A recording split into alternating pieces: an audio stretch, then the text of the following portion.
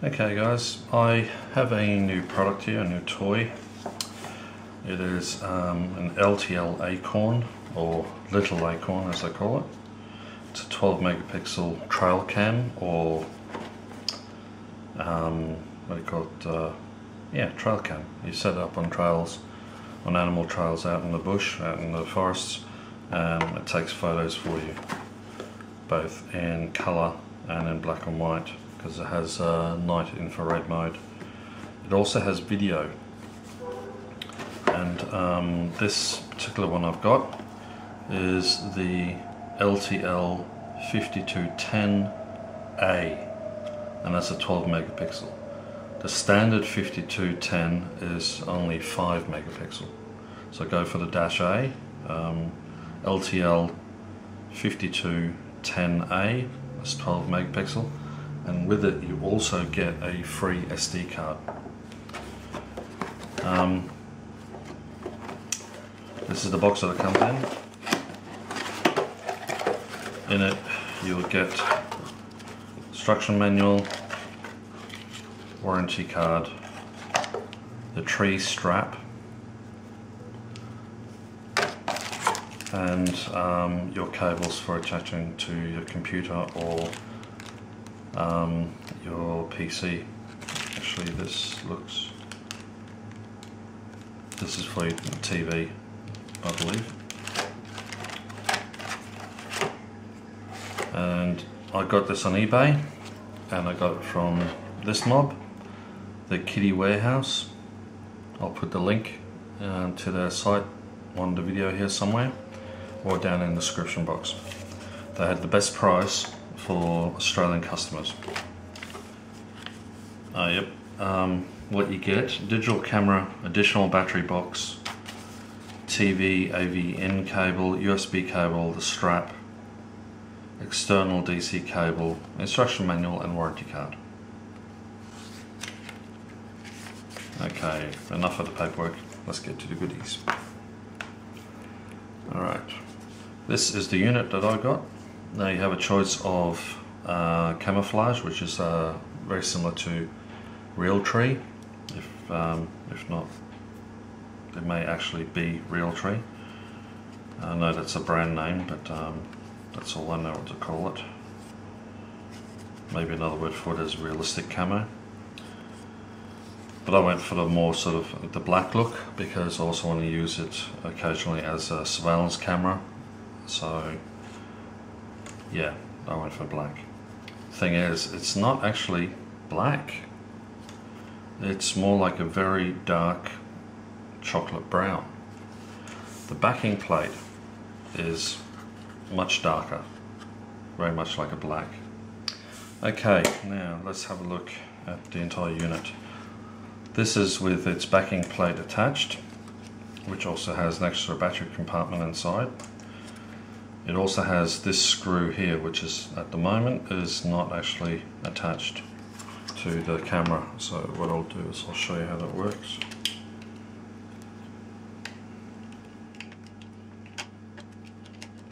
There you go. So as you look at it from the side, this is your camera and this is your back plate with extra battery compartment. You have a lock down here for the base. You have a side clip on the left and a clip on the right. And as you just seen me do, you can also screw that in. That goes through into the body of the camera. So by rights, when you undo that, and you undo that, still attached. This is mainly for when you have it um, linked up onto the tree. You can't just go up and unclip it and walk away with it. It just slows down any just slows down any thieves that may come across it. They'll unclip that and unclip that and it won't come off because it's actually screwed on. So what they then got to do is they have to remove the back strap actually have to remove and undo this from the tree which also feeds around it. There you go.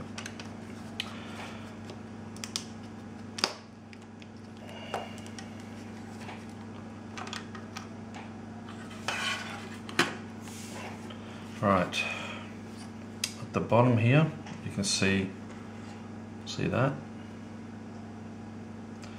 That hole is so you can actually feed a small, if you have one, a small padlock through there. That stops the base from being able to open up. But normally you just use this little snap here, like that. And then once that's undone, you then pop the base open, like that. Now inside the base, you have power plug, TV out, USB, off, on, test, and SD card. Here you have your battery compartment, which takes four batteries.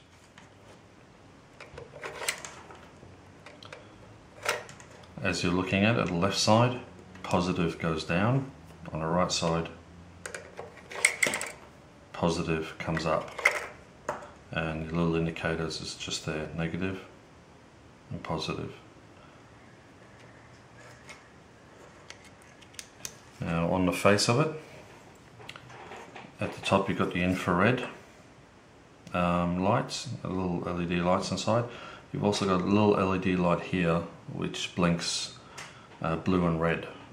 Um, is it blue and red or orange and red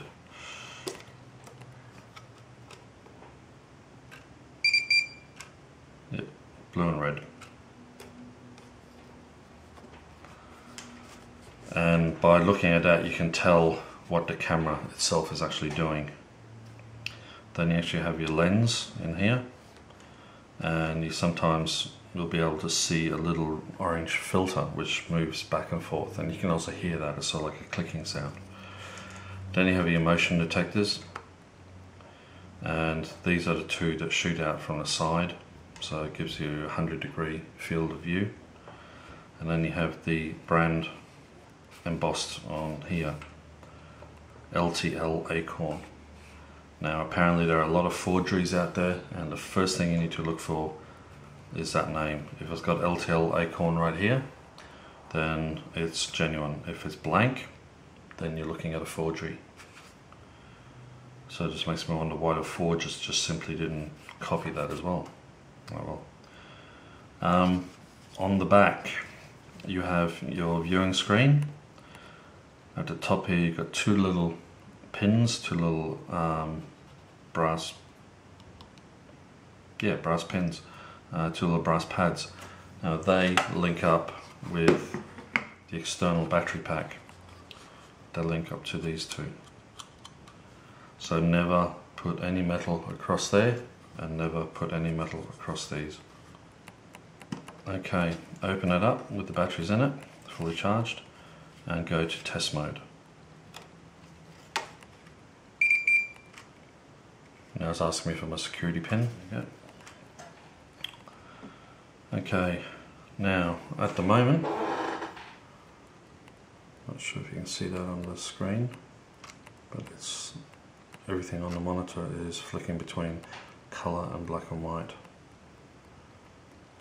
I'll record some for you.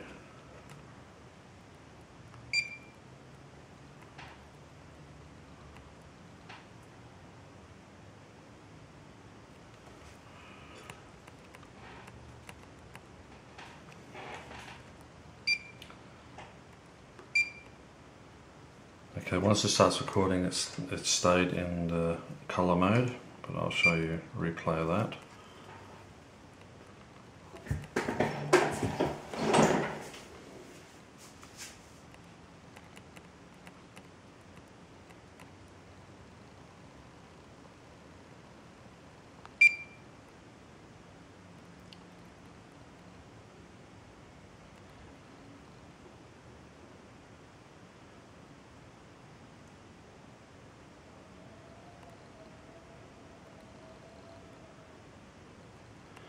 What I'll do is I'll close the blinds and turn the light off.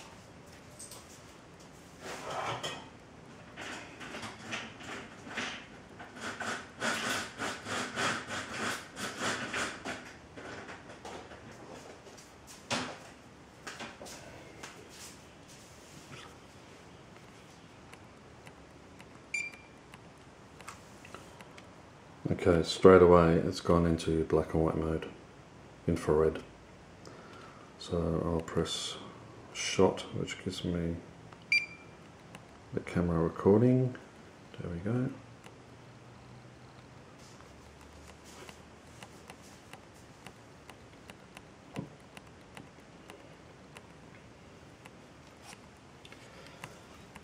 I'll do something different.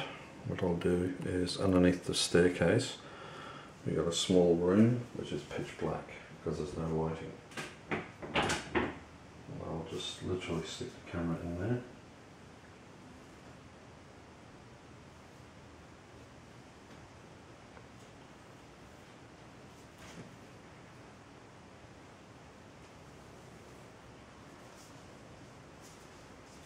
And there we have it. I'll stop it now. And I'll go back to review mode. Ready go. And play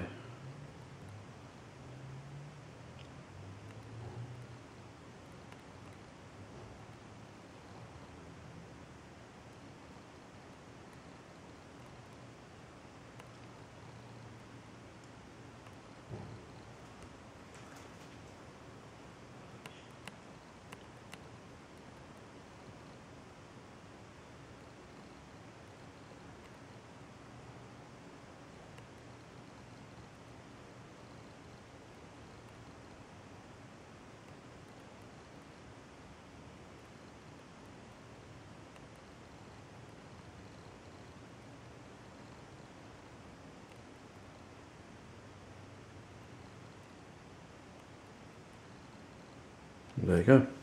That was the infrared.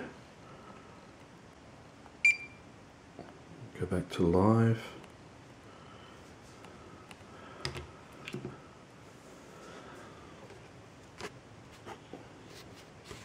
Now if I can do this right.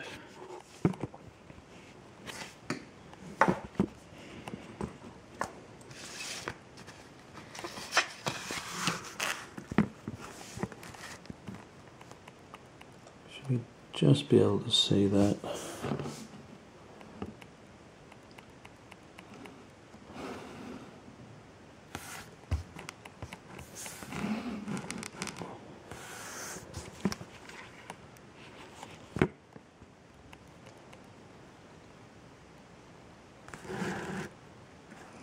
Anyway, that should switch to colour as soon as I open the blinds.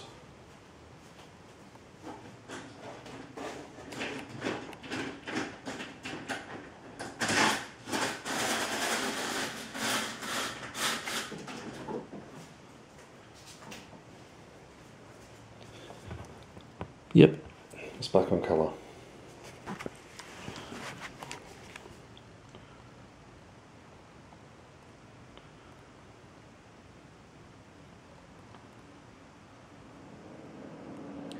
Okay, here's footage of Phil and I testing the camera on the day it actually arrived. Now, it was night time and we got one single kitchen light on. And as you can see, the corner over there is quite dark. So Phil turned the light off and this is the camera filming normally without infrared. As you can see, or in this case as you can't see, there isn't anything there.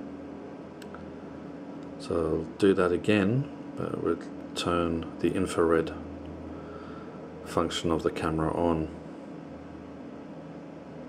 There we go. The room's in total darkness the glowing spots down on the floor. That's reflective tape from my ambulance jacket. And it's totally pitch black. But the camera is actually good because you can walk through and you can see where everything is without tripping on anything. Here I am going outside. And the range of the infrared is about 20 feet, I think it said. It's filming in through the window. There's Phil. The infrared light is actually causing obstruction because it's bouncing off the fly screen. But the range is a good 20 feet. And here we're talking about the, um, the flash going off. And here I'm at Harry's place.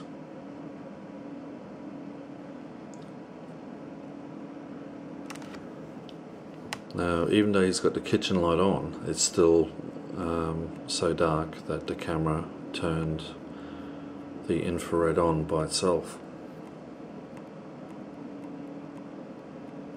And we're about to go outside.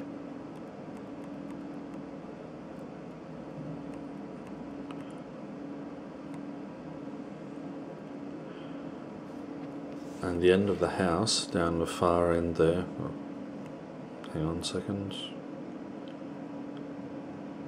You know, the far end of the house, the far end of the yard, sorry, down there, that's about 30 feet away. And the, the far right corner, that's about 32 feet.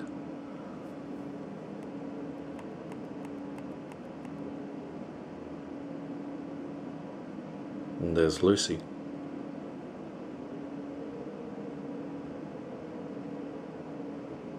Yes, I can see you giving me the finger. Look at Lucy's eyes. Lucy! What are you doing, Lucy? Looking for a ball.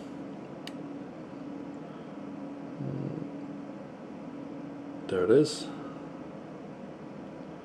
It's a tennis ball. Get it. And she brings it back.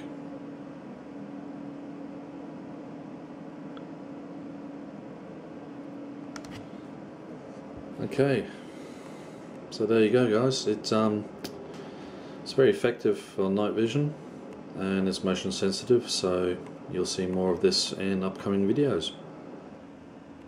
For those of you all around the world who end up buying one of these or already has one, um, if you want a really good website where you can get information about um, camera reviews, the different models, go to ronburyswildlife.com.